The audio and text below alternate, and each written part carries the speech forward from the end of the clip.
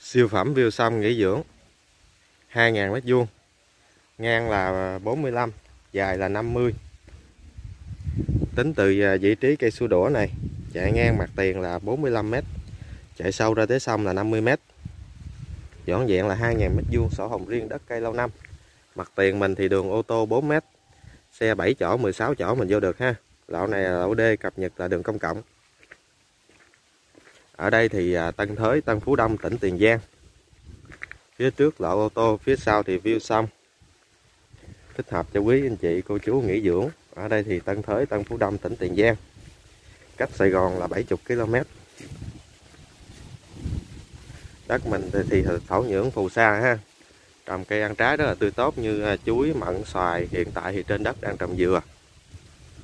Đất thì cây lâu năm nha liên hệ cho khoa để à, tìm hiểu thêm thông tin. Chỉ có 900 triệu.